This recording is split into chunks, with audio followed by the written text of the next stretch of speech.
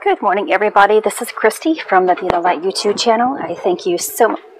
You know what? I just caught myself what I was doing here. Um, I am so used to saying Be the Light. And I just caught myself in action there. Um, I am now the intimate warrior. um, wow.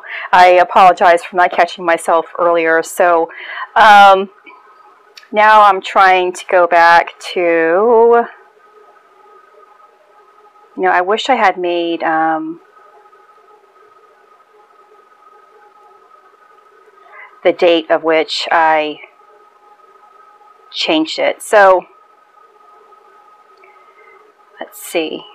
God gave me the name on September the 14th.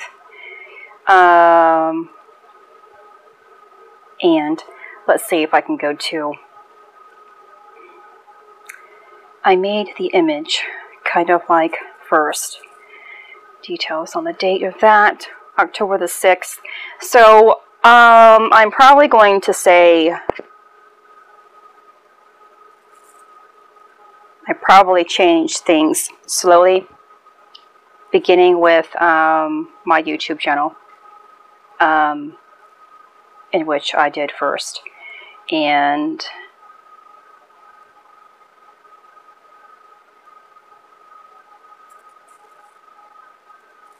then I went to, it could have been the week of, the first week of October. I believe I changed it first here on um, YouTube. And um, I changed it here a few days ago on, um, or I changed it a few days ago on Instagram only, and no Instagram, and then I moved it to my, um, not my personal page, um, but my kind of like business page that they have. Um, about the same time. But anyway, that's not important. But I haven't really been speaking it as often as I should be. My, and that's something by me triggering it here, bringing that into my awareness, I am now implementing um, the laws of reaping and sowing or the laws of attraction, whichever it is that uh, you resonate more with. Um, and that's going to tie in now with my video a little bit. Um, with what I'm about to speak about, what is actually happening energetically, yet I'm kind of going to explain it, of course, within my own experience. Um, you know, we are upgrading um, to live within the heart of spirit. And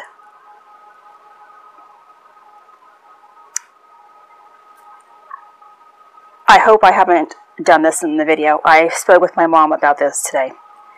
Um,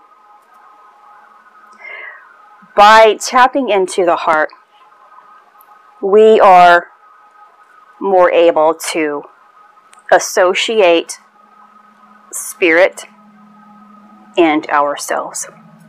Now, I know that we all have been trying to resonate with love on a daily basis. Um, we're thinking better, we're feeling better, we're using greater words, and we're using greater actions. This takes work with um, a lot of thinking and matching our emotions, thoughts, and actions, which means because we are human beings, we have to trigger our brain to remind ourselves. And it's got, gotten easier with myself because I have learned to discipline myself to resonate with love and to be love and to observe only. And it does get easier, and it's kind of like clockwork. It's kind of like breathing now. But I have times where I kind of slip back. Um, not really, you know, drastic slip ups, but I'm being human, okay? I'm being human, and no one expects us to not be human. The human person, still, who is a resonation of love, will observe their own mistakes as well and know and realize in the next time that this cycle repeats itself that you catch it and are not repeating this karma. I hope that makes sense. Okay, so I, I ended up pushing pause here and going back to um, a recording that I I made earlier today, and I have spoken about this, um, what it means to actually live within the divine heart, the sacred heart, um, and embody Christ consciousness and um, love. And so I'm not going to repeat it. If you need to, go back and check that video, uh, which means I will probably upload this after that video. And um, I think I have it labeled um, Working from the Heart. Um, I might change it to Working from the Heart and um, saying something about embodying love or something like that so you can um, kind of understand more uh, and catch that video more. But um, there's something that took place today that I ended up feeling this. I like to call them tickles, but you know, it's tingling. Um, it's light that's um, on the crown. And I felt it enter into my crown, filter down into my throat, into my thymus, and into my heart. And I felt it move out into my right hand. Um, instantly, I got an awareness and intuition, a guidance system that it was about manifestation. Um, to truly be able to manifest our life's purpose, our heart must be in it. And if you have chosen a life of service, serving the divine, um, then your purpose is going to enter into your heart. And I believe that was just the tip of opening up to my purpose here. We have to be able to catch what is happening. Catch it embrace it, understand it. Now let me go back to the beginning of my video where I caught myself saying be the light in my videos instead of this is the intimate warrior. Um, what is my what is my opening thing conversation now and I don't even remember what it is at this very moment. How odd is that? Um, okay, so I think I usually say uh, good morning or good afternoon. This is Christy from the Intimate Warrior YouTube channel. Thank you so much for stopping by, and as always, I send you love. I am now manifesting my purpose. um,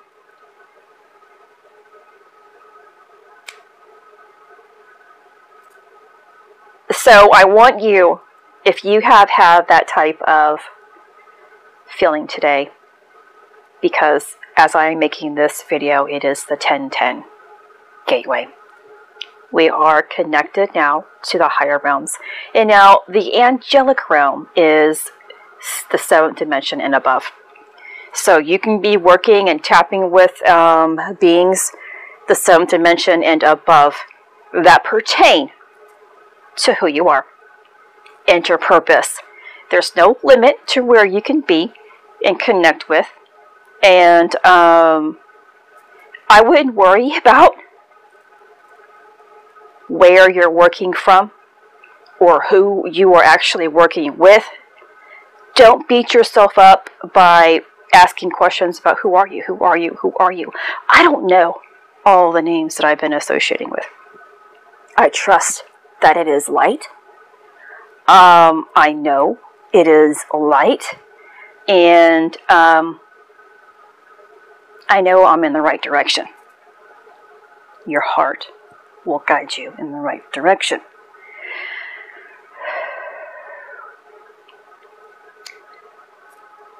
So we are supposed to be able to learn to manifest properly.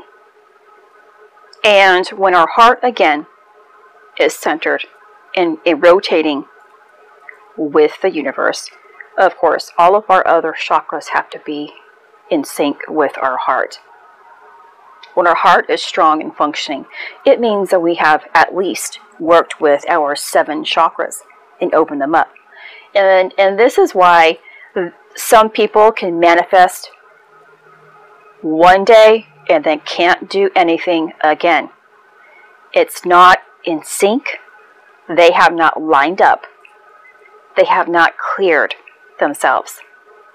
And that's why I don't press laws of attraction. Hey, you can, or manifesting anything in your life on my videos. I don't talk about that. Because regardless if you try and try, I can explain to you over and over again. It takes a thought and an emotion and an action. You're not going to get it, even if your heart is in it, because the heart is always going to fall back down because of the past. And your past is always stored in all of the other chakras. And so, what you are going to manifest, if you're trying to manifest love and you have pain associated with your root chakra because someone abandoned you, and you haven't healed from that, you're not going to manifest love. If you're someone who's trying to manifest abundance and wealth, and you haven't um, healed your, um, it could be your your solar plexus, it could be your sacral, it could be your root. If you haven't um, found stability, control in those areas, you are not going to be able to manifest that into your life. It's going to come and go and come to come and go. And now I have been able to manifest money from time to time when I needed it because that is just the universe or God, um, source, whatever you resonate with, um, trying to teach you that it's already been in your field because you have done certain amounts of clearing, but yet you can't continuously manifest it because you haven't eliminated past buildup or past karma. And you don't trust in what you're manifesting. There's still a doubt. When you don't believe in yourself, when you don't believe in your divine temple, you there's no way we can manifest. So I stopped over a year ago, I stopped watching those laws of attraction or manifesting videos and focused on my heart, my own journey, and my purpose. And I knew that in time as long as I stayed in alignment with my purpose, my highest purpose, whatever is due me is coming. Because in the beginning, God has promised me great abundance, and my birthright has great riches attached to it. All of us have this. We all have a great lineage that is attached to wealth, abundance, freedom, security, love, in an infinite amount of possibilities. It's 808, by the way. I love when that lines up. um,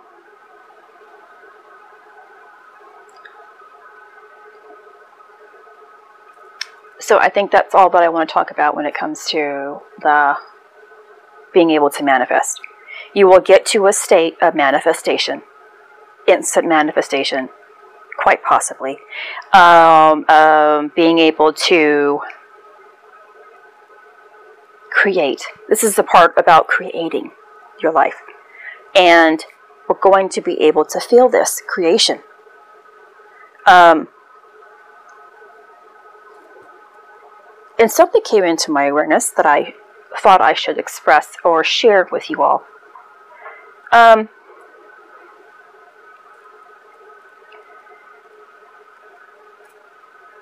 a couple of things. And I wrote down one thing, and then I'm going to just read it. And this is about our experience here in our awakening process. Because I get so many questions about, well, why don't people? If everyone is uh, experiencing energy, we all are, and God is always trying to work with every single one of us. Only those one who believe in what is taking place, meaning energy, the rotation of the planets, and how it works within you in the chakra system. Do you receive something according to that? And if you believe in that and understand the process of what you're going through, you will receive according to that understanding. Understanding is a belief. I'm clearing here, and I apologize. Um, so I'm in the process of clearing something here. Um, and so what I have, have written is some experience negative effects while others will experience positive effects. Like, let me just give you an example for here at my household. I can experience something one day, whether it is a with divine bliss, peace, and intense love pouring in, and my husband can be feeling something opposite of that and then, probably the next day or the next week, whatever, I am feeling pressed. Not, um, I don't see it as anything negative, but the association makes me feel low. When you feel low, it's kind of negative. So, um, it's total opposites and isn't that what I have been talking about anyway? With especially the pillars here. The pillars represent good and bad, light and dark, the opposites. And if you can unite and be neutral in the center, be love in the center, because divine love, pure love, and when you are a master of pure love. Everything exists the way it is supposed to. Everything exists. Um, and you have a choice at where you stand. Um, and this is where I continue on. Yet the common ground within us will be understanding of what's going on. So some experience negative effects, while others positive effects total opposites here. Yet the common ground within us will be understanding of what's going on. Understanding comes from what's received within the heart. And this is where we currently are. Absorb understanding and experience the common ground or the middle pillar of King Solomon's temple. We are always trying to find the common ground neutrality, balance, especially here on this journey. Uh, but whether or not you're on a spiritual journey to your soul's purpose or existing as a regular human being, we're trying to function in a common ground where we all can exist, where we all can have peace, freedom, and our heart's desires. The common ground is the heart, and that's where we are. Uh, we are definitely building in this heart. Um, and so I have been noticing that where I currently am, I, and I mentioned this in a couple of my other videos, that we will begin to, because of the um, last month's and this month's, whenever it actually began, it could have been in July as well, where we tapped into opening up, um, the tapped into the pineal gland, the pituitary gland, the um, rainbow bridge, the bindu, the alta major. We have done some serious work here, people. we have done some serious work. And it's time for us to embody it all. We have really done a lot. Can you imagine? And this isn't easy. This is very time consuming. Yet when you look back, when I look back, it's only been two years for me. Uh, from my awareness of it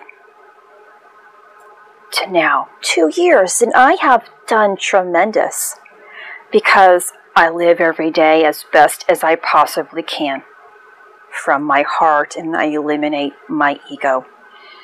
Um,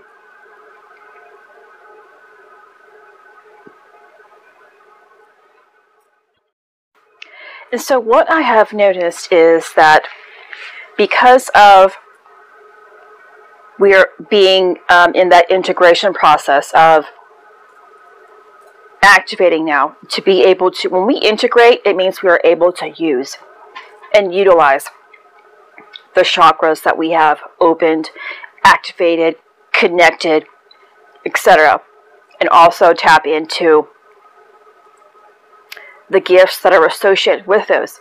So, because the pineal gland and pituitary gland are now functioning properly, we have uh, begun to receive essence, the life essence, um, the spinal fluid, the colostrum, um, the Holy Spirit, the life force energy, is now actually going through our veins, um, our organs, every cell, every um, everything that our physical form has. We are going to, um, our weight is going to either steady I was one who gained weight quite drastically. I was a fitness coach, exercising my my my um, um, my bar off, um, and it came on suddenly. And thankfully, I didn't beat myself up and understood. Something made me understand the process, and I guess it's because the process of me losing the weight which still was a fast pace from what I had to um, lose. Um, but I already had that type of mindset of staying within the process. Um, so you may either begin to lose weight because you have gained weight in your ascension process, or you may begin to gain weight because you've lost weight in your ascension process you know, don't. I, hope you're not saying, "I wish I were those per- people who who lost weight." Please don't wish that because what is happening for you is made specifically for you for a reason. Um, and you never know if the other individuals out there who are the ones who have lost a lot of weight, how they feel about it, because that might make them feel insecure and lacking in this process, unattractive, unloved, unworthy. Um, so it's so important to just be within your own journey, no matter what it is. I have began, and this has been about a good month, maybe maybe longer, where I began to see things subtly. Sparkles, my skin would come on and off and it would begin to glow. I look would look like I was, you know, always glistening with a rainbow. Um, as if, you know, I took that those that powder they used to sell um, and make you, you know, sparkle all the time. Um, and some days I would shine more, and some days I wouldn't. And um,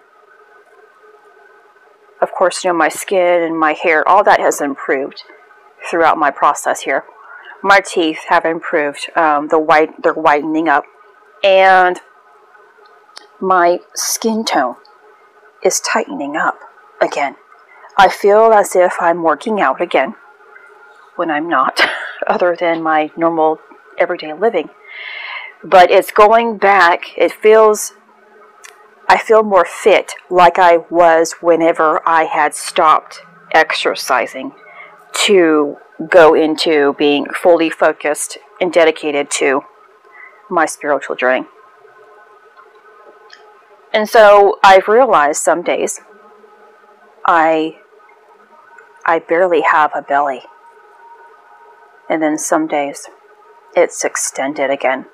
Not too much, but still noticeably.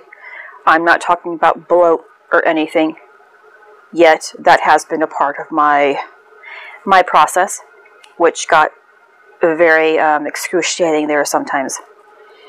And now I want to explain that. Of course, you know, the vital fluids that are pouring in is going to taper this off. It's going to make it where it's supposed to be for your journey. And you're going to be built beautifully. Know that. Believe in that. Even if you feel or others feel that you are over, overweight, know that your structure, your body, your temple is divine and it is the way it's supposed to be. For you, your purpose, for God. What others others think is about their own insecurities and their doubts and etc. Um, their viewpoints on how individuals are supposed to look. Now, I want to explain how the actual energy part of it is. And you'll notice this. The heat builds and builds and builds.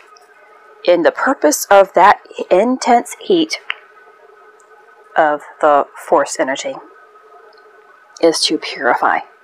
Now, although we are towards the um, cooling down phases, you're going to have still intense heat rise and cooling. Now, for the, a lengthy period of your process, you are going to be hot and hot and so hot, you're going to be boiling, and that is necessary. There's a lot of purifying that needs to be um, completed. And it's going, the purpose of it is to expand you so that light can filter through. The heat is purging out what doesn't belong and making you feel all kinds of these emotions, making you remember things, and making you eliminate them. And it will come in all forms of kind of disgusting things. Boils, I have experienced to boils like you won't believe. Um, rashes, um, food sensitivities, you know, constipation and or diarrhea, uh, nausea, heartburn, headaches, sinus, everything. It's going to make you feel as if you are a walking, living, breathing diseased case of the worst type.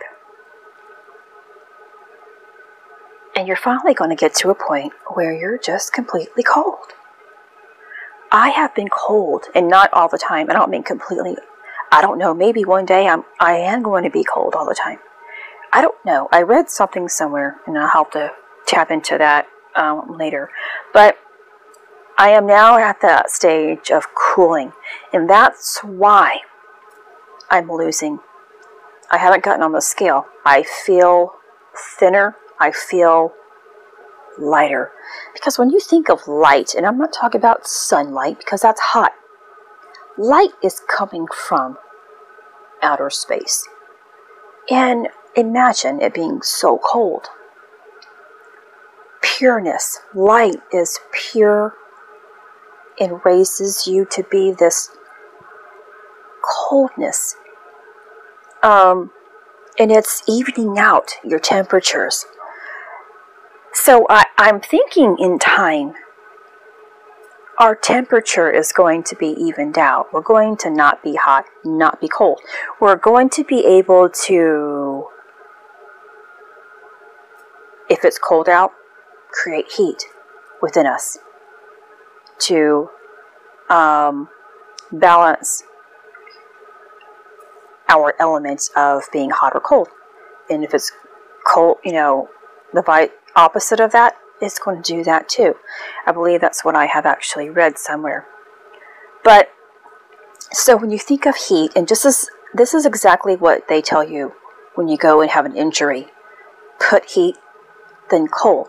The heat allows, like your knee, to kind of open up and expand and allows the swelling to go down. I always thought it was heat allowed it to go down, but actually, heat creates more heat and boiling inside to hopefully loosen things. And then putting ice pack on tightens it down. And that's why now there's that new thing out there that's called cool sculpting that will burn fat by using ice. And this is that's actually been used, you know, for a long time throughout um, the medical community and etc. Placing you in ice and diminishing your your pain um, and making you um, more skinny. Um, so I have been more cold throughout the day than hot, yet I'm still hot, especially at night. I grow spiritually a lot at night. I still do so in the daytime, but it comes and goes in bits and pieces, or sometimes now it's, you know, 10 hours of being cold and then a hot spell. Or finally, I have a neutral ground sometimes within there. But for the most part, at night, I am extremely hot until I wake up and I instantly get cold. So I, I just wanted to share that, and perhaps you've already thought about all this about the purpose of the heat and then the coolness, cold, uh, which is the sun and the moon um, which is the water and, and the fire, which is the Holy Spirit. And I hope it makes sense. I hope it resonates with you. Um,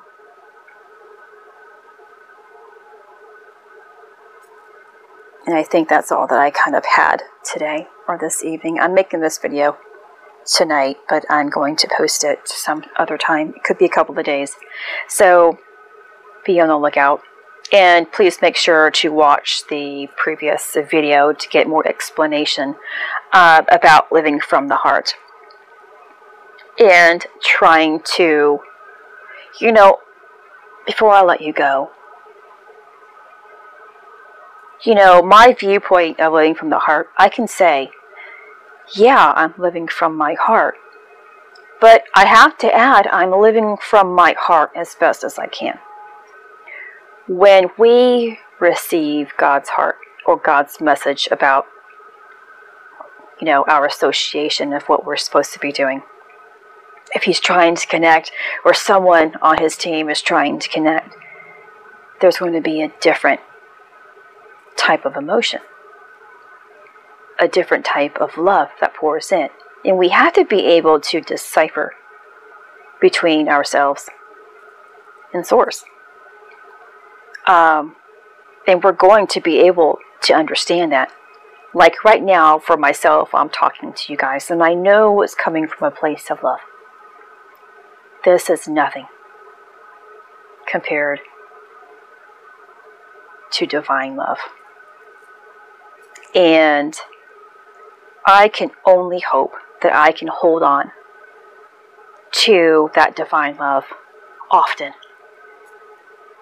often. This is Christy. Much love, health, and healing your way. I am bringing purpose to your life. Take care.